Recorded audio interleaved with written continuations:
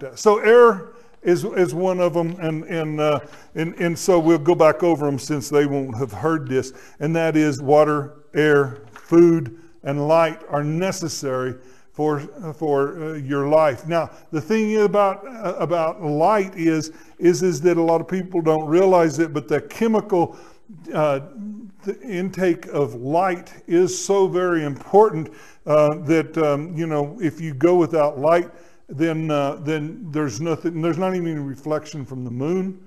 Uh, there's no warmth for the earth. Everything is dependent on that uh, on that. And so just be aware that that you need these four things to survive. And like I said, I I just expanded this out and thought, well, let's just look at God's word and let's let it prove itself as to what it is. Now, now here's the thing that it is based on. And that is, is the great I am. Jesus said he was the I am.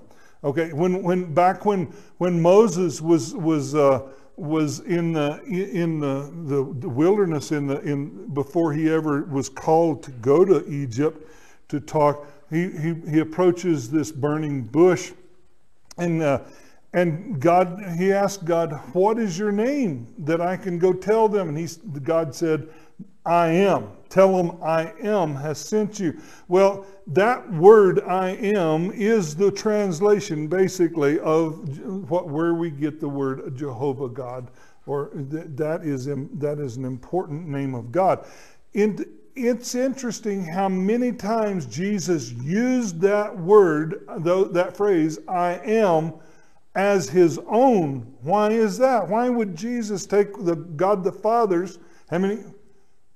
Okay, seven times? Oh, imagine that. Seven times. Isn't that something? Anyway, the anyway the, the, the point that is here is, is that he is the I am. He claimed it over and over and over again.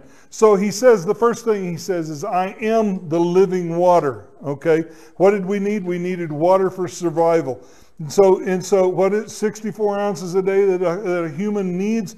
Well, actually we need him as the living water in our lives. Jeremiah 2:13 says, "For my people have committed two great evils. They have forsaken me, the fountain of the waters, and hewed out cisterns for themselves broken cisterns that have no water. See, when a human really go, tries to go without Jesus, he's actually a possessor of a broken cistern that not only has no water in it, it can't, it can't hold water. So you need that, that cistern with water in it. He says in John 7 37 through 39, on the last day of the feast, that he says that, that great day, Jesus stood up and cried out, if any, and by the way, he did this at the very time they were pouring the, the water from, from the offering in, in, at, at tabernacles on the last day. As they were pouring water, he stood up and yelled out to the crowd. He says, I, if anyone thirsts, let him come to me and drink. Whoever believes in me, as the scriptures have said, out of his heart will flow rivers of living water. Now, this he said about the Spirit. Okay, so we know that the water is a representation of the Holy Spirit, whom, whom those who believed in him were to receive, and yet, and as of yet, the Spirit had not been given to them because Jesus was not glorified. So, ever since Jesus resurrected from the grave, the Holy Spirit has been sent into our lives as a, as a promise of God, but He is a river of living water given to us from Jesus Christ into our lives, and out of us flows living water. Why? Why would we do that? Why would the Spirit of God need to flow out of us? And it, the only answer has to be because everyone else around you needs the Holy Spirit's presence in their life to draw them to salvation. There is no other way. You have to have water. You have to have the living water that Jesus Christ alone offers. He's the source of life. He's the abundancy of, of overflowing life. The living waters of God, it's the source of that Holy Spirit which overflows to others around us and overflows into the lives of everyone we meet. Do you realize that when you are in the presence of someone else, your, your life overflows into their life. It, you know, we can sit around and say, "Oh, I, am not usable of God." It, don't don't worry about being usable. Just absolutely turn loose and realize that the Holy Spirit will do it for you. He overflows out of your life into the lives of others. Okay, so he says, "I am." The living water. He is, because he is God, Jehovah God, he is God the Father, He's God the Son, He's God the Holy Spirit. So the Holy Spirit has given you that Spirit to flow out to others. He also said, He said, I am the breath of life.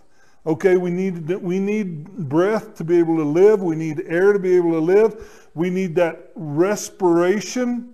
Now, what happens in respiration? I didn't write this down, but just note this. When you when you are in the process of respiration you take in oxygen. That's most most people that's all they think about. You breathe, breathe in pure air. It the rest of the respiration cycle is is it goes into every part of your body and interacts with those cells and it does two things. It infuses the through the blood system it infuses oxygen into the cells and takes the waste products out of those cells and puts it back in the transport to the lungs. And when you breathe out, you breathe out the bad. Okay? So you're breathing in the good and you're breathing out the bad. By the way, do you, do you realize that the name Yahweh is that respiration process? Yahweh. In your life, he breathes in the great, the good, and you breathe out the bad because that's what his name is, Yahweh. Okay? So just remember that as you do so, you are experiencing that interaction to where the good of, the, of God is coming in and whatever has, has, has been uh, used up or defiled or is no longer necessary is, is wasted out through the breath as well. You breathe in, you breathe out. You breathe in, you breathe out. So he says, that, he says in Acts 10, uh, 17, 24 and 25, and God who made the worlds and everything in them, being Lord of heaven and earth, does not live in temples made by man, neither is he served by human hands, for as he needed any as though he needed anything, since he himself gives all mankind life and breath and everything. So God is, a, is, is the one who gives you that. Genesis 2 7 says, Then the Lord God formed the man of the dust from the ground and breathed into him the breath of life, and the man became a living creature. When he created Adam on the ground, he scraped together this dust and he and he formed them formed Adam on the ground in the act of creation. And then he didn't just leave him there on his own. He breathed into him the Holy Spirit of God. That's what that's what the, the word the word spirit is best translated as breath or breathed. God breathed the scriptures into those men and they, and they wrote them. God breathed into Adam the, the, the spirit of life and he became a living soul. Do you see that we need God so much that as we, Adam got up and started walking with God and talking with God and interacting with God in that process. Guess what? When, the, when, the, when God breathes into that dead man of sin that you used to be, and He breathes the Holy Spirit into you as a, as a dead person, you came alive in God. You came alive with the Spirit of God in you because He breathed into you. And He says we, uh, uh, we, we need to realize we, we walk with Him and we talk with Him and we interact with all the creatures around us. And we are the presence of the very Spirit of God everywhere we go. You are an ambassador for Christ. Doesn't say you ought to be. You are. Why? because everywhere you go, God is going to use you to interact with others. And in that, in that process, others are supposed to be, as Adam was, was seeing the, the, the reproduction of other Christians is what we need to be doing. We, there is nothing more important in our church than the bringing others to Christ whether we do it ourselves or whether we offer to someone in an orphanage and they and they bring them up knowing Christ and they come to know Jesus Christ as their Savior. That is as much interaction as anything else. We are to interact in any way we can to win others to Christ. Now then, I got I, I got I got a question. I told you I didn't think of this when I wrote this, but just think about this. You breathe in the good and you breathe out the bad. You're supposed to leave the bad out. You're not supposed to breathe it back in. It's not healthy for you to put a bag over your head and breathe and breathe and breathe because you'll start breathing that bad back in, and pretty quick you'll be in trouble. Okay? So, so the thing that you've got to, and I don't recommend that you take a plastic bag and put it over your head and find out. Okay, please don't do that. Just understand that that that we, as we interact with the world, we're supposed to be breathing in God, and we're supposed to breathe breathe out the bad. And in the process of breathing, there's always a portion out of our exhale that is still good oxygen. That's the reason you can do CPR and people can do it because you can you can actually infuse them with oxygen. You infuse God into other people's lives no matter how much mistakes you make. You, there's the Holy Spirit's what does it, not you. Okay? So let's move on. Then he said, I am, again, the bread of life. Okay, what did we need? We needed air. Uh, we needed water. We needed life. We needed air for the breath of life. Then he says, I am the bread of life. You, we need food, okay? And that 1,200 calories a day that I was talking about at the very first, that 1,200 calories a day being able, is you, you ladies, are you can eat, you can live on a whole lot less. And us guys, uh, some of us need to, need to live on a whole lot less. And, and some of us, uh, uh, you know, probably could be upping what you what you get. The main thing is is it's God's going to give you what do you want. I, I I've said this before, but I really think it, you know, is is is I think God puts us all on a journey of our own.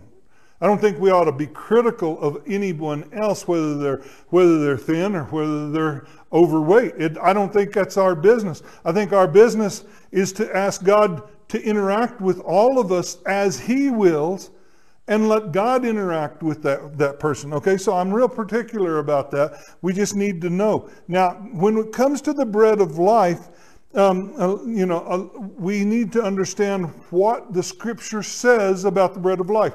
Now, in, in the in the uh, um, uh, in the interaction with Satan in the wilderness, I didn't put this in there, but what was it that Satan tempted him to turn the stones into bread?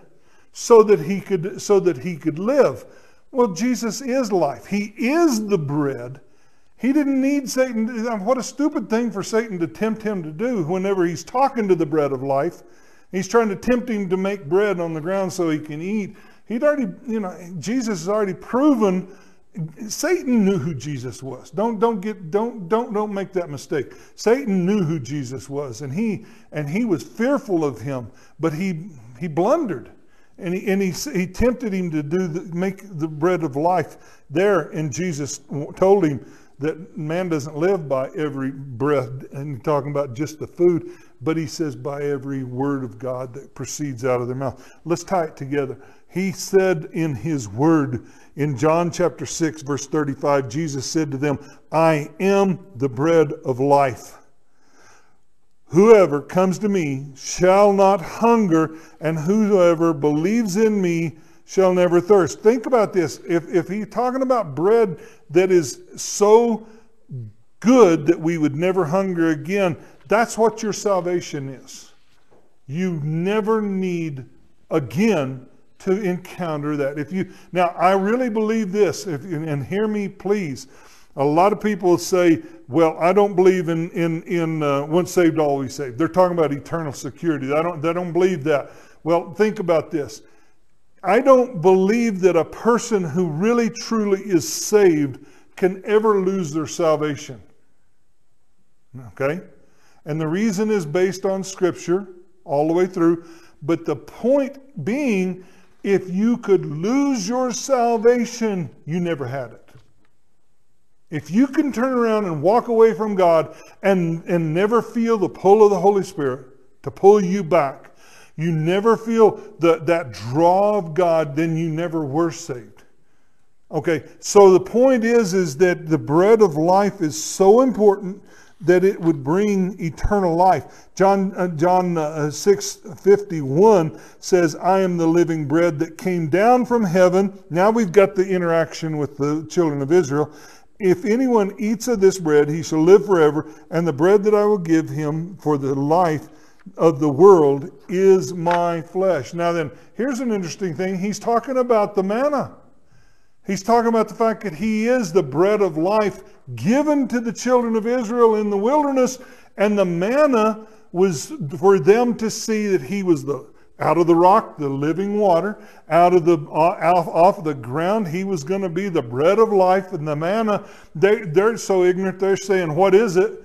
And he's trying to tell them, I am the bread of life. Consume the, the, the things of me, and you will have eternal life and yet they rejected it and they would not do what he said, and they ended up wandering in the wilderness because of it. So he, he says he was the bread of life that provided to them everything they needed, and yet they missed it. Okay? Now then, look at this.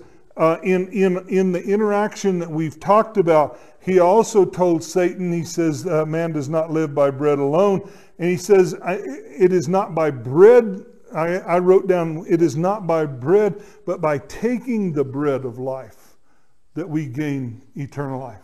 Okay? So it's Jesus again. And now we've got come to light. And we come to the understanding that we need light in our lives. To be able to live, we have to have light. John 8 12 said, Jesus spoke to them, saying, I am the light of the world. Here's another I am. Whoever follows me will not walk in darkness, but will have the light of life. I'm constantly being told by Christians, well, I just don't know what I'm going to do with my life. Okay, you don't have to do with your life anything. What you need to do is submit to a God who loves you, let Him light your path, and then submit to wherever He takes you. Do you think for one minute now, I know this is, I know I'm getting a little bit harsh here, but I just want you to think about it. What makes you think for one minute that if you ask God to direct your paths and you give yourself to Him, that whenever the light shines on your pathway and you start taking a step after a step, do you think that God is not able to take you where He wants you to go? That's, that's, that's ludicrous. We need to be able to understand He is the light. And we have to have light to live. That tells me that Jesus' life was the light for everyone around him, and that which means that he was, he was, he, he was revealed as God in the plans, and he showed us the way back to God in what, in what he did. He died for our sins. He is resurrected in that. By the way, if, if you go through and really look at the scriptures, every time there was a momentous occasion with Jesus Christ, there was light. There was the light of God in the, in the, in the, in the tent of meeting in the wilderness. There was the light of God. The column of fire was the light of God in that. There was the Shekinah glory of God. There was the, the, light in the, on the Mount of Transfiguration. There was, he, he over and over told them that he was the light. And so we just need to no longer struggle with what he said. We need to submit to what he said and accept it and realize that he is the true light. And when we experience light, there, here's a challenge, here's a warning. He says, he says in Matthew 6 23, a little bit of warning. He said that, that we, the, the light of God should show through our eyes. And he says it this way He said, But when your eye is bad, your whole body is filled with darkness. If your eye's good, it's going to be filled with light.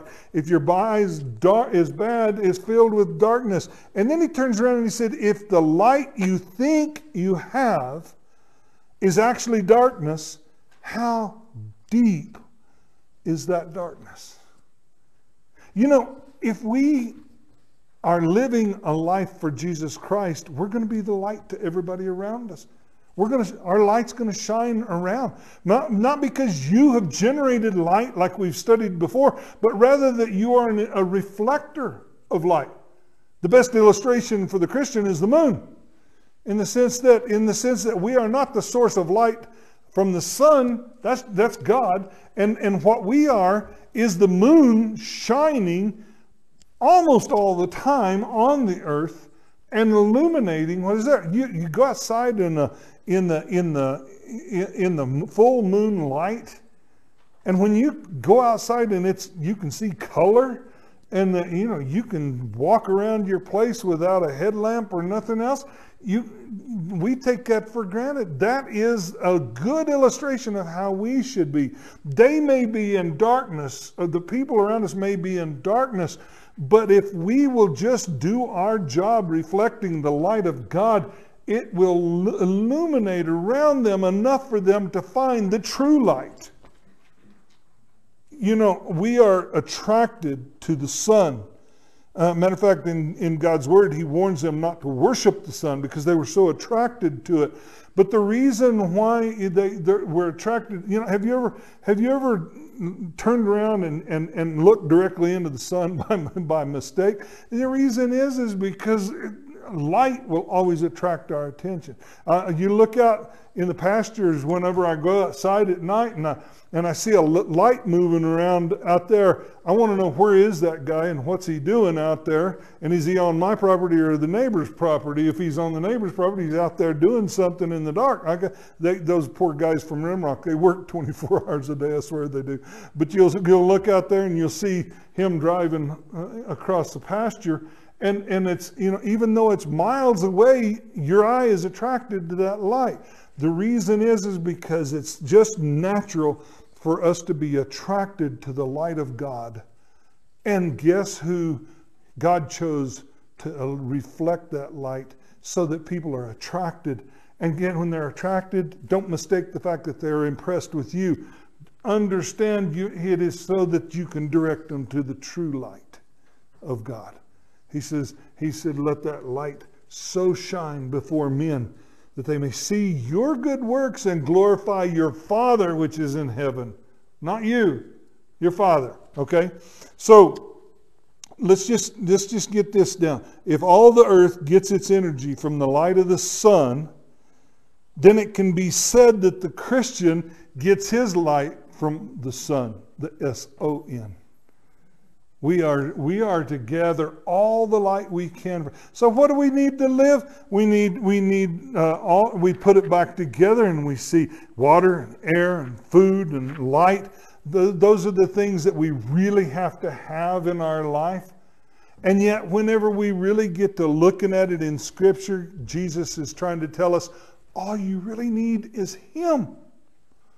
All you really need is Jesus in your life. Everything else is bonus, everything else is challenge. But it's Jesus that you need. And so, if I get this right, everybody was right at the beginning because we all we need is all of these four things and we get them all through Christ. And the only way you can have Christ in your life is to submit your will to God. Confess your sins as, as, as, as heinous before a, a, a holy God and declare them that you're going to let Him forgive you of those sins, and then turn around and walk away from them and live a life submitted from then on to God. Live a life submitted to Him. And when you do that, He will change your life. He will use you when you don't think you're usable. He will put in your pathway people that will get something from you. Make sure they get the light of God. Make sure they get the air of the Spirit of God. Make sure that they feed on the Word of God around you and that they, they have that flowing water flowing from them. Isn't that great? See, that's all a Christian has to do. That is what being a witness is. It's just showing what has happened to you, to everyone around you. So, all they need is Jesus, and you've got Jesus. It's a no brainer. All you got to do is give them Jesus. Let's all stand. Let's all stand and let's be uh, dismissed, but we're going to dismiss with a song. But I want to keep that challenge in front of you. I'm not going to let. I'm not going to leave it alone. And that is, uh, you need Jesus, but more importantly, those around you need Jesus, and you're it because you're the one God put there in their pathway. So just smile and say, "Here we go." Let's just let's let's let's let's sing. Let's sing, if you would. Sorry about that, guys. That's all right. Get my head in. Let's get let's, let's get that piano trained. Okay.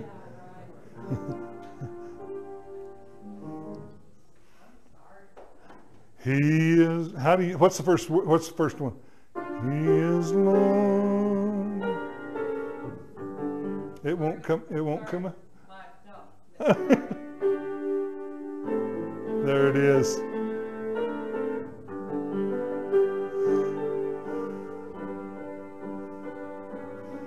There we go. He is Lord. Lord. He is risen from the dead and he is Lord. Every knee shall bow, every tongue confess that Jesus Christ is Lord. Let's do it one more time, okay? Can we do go back to it again? He is Lord. Think about that. He's the ruler of your life. He is Lord. He is risen from the dead and he is Lord. Every knee shall bow, every tongue confess that Jesus Christ is Lord. Heavenly Father, we thank you. We thank you for the privilege of being able to be children of God. We thank you for the, the, the, the testimony of who you are in our lives. We thank you for living in us and moving in us and, and, and, and reaching out to others around. I pray right now the most important thing I can think of in all this service is this invitation to come to know Jesus Christ as your Savior. This invitation to know that whenever you do possess Him as your Savior, he, to allow Him to be the, the, the very elements of, that you need that we need for you, God, to be able to, to tell others and to share Christ with others in our lives. For we ask, Lord, for you to go with us to our homes and be uh, a blessing to others around us that we would not forget to just interact with others. And Father, when we are in front of others, that we would be patient, that we would be loving, that we would be filled with joy and that it would not be all about us, but it would be about you so that they can go home with a touch of the Holy Spirit too. We ask you to be our, our, our witness in our, in our life, in our breath. In Jesus' name, amen.